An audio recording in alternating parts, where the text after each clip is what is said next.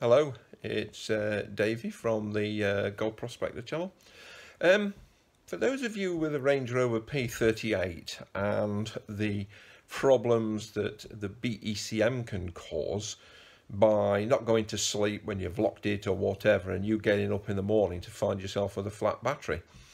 Well, mine was doing that quite regularly until I learnt this little trick that you'll see in the next part of the video. Uh, just see what you make of it. Now, remember what I said earlier about the Range Rover BECM staying awake. Now, I know you can't see an awful lot, and I know it's dark, but you will in a minute.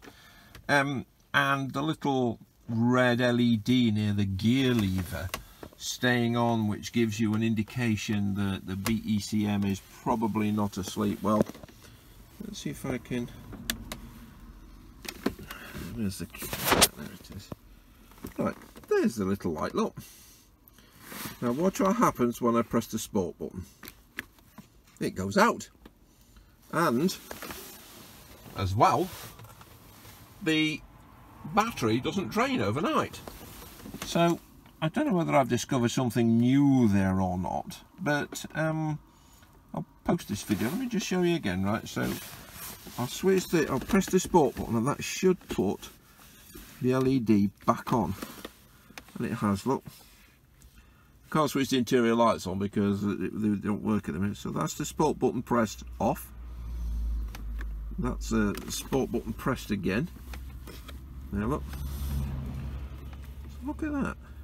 I reckon that, you know. For people who are wondering why the little pink light is and the battery's draining overnight, just try that little trick, see what happens. All right, uh, I'll get out the car now.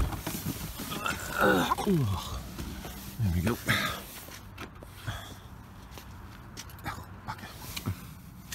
Hang on a minute. I've got a, I've got a little trick to keeping the door from locking itself on me if it decides to work again. Anyway, there you go.